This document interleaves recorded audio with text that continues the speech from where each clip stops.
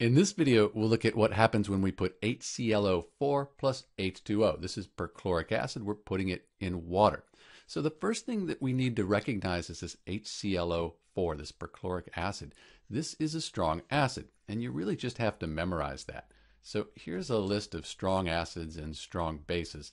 And when we look at our list, we see perchloric acid right up top. Perchloric acid is a strong acid. So because it's a strong acid, it's going to dissociate or break apart into its ions. So the H plus hydrogen will be 1 plus, and then the perchlorate ion. If you don't have that memorized, you want to look that up on a table of ions. Perchlorate, ClO4, has a negative charge.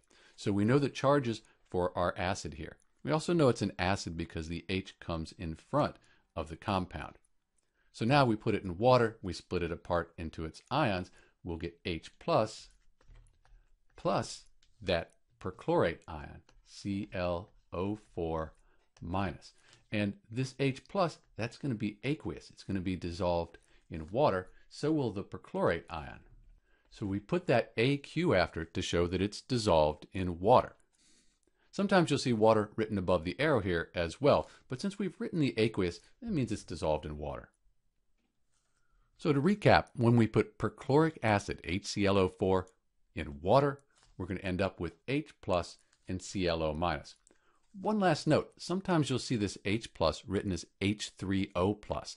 That's because the H plus will join with the water molecules to form the hydronium ion, H3O plus. Either way, you'll see it both ways. Both are accepted in chemistry. This is Dr. B, and thanks for watching.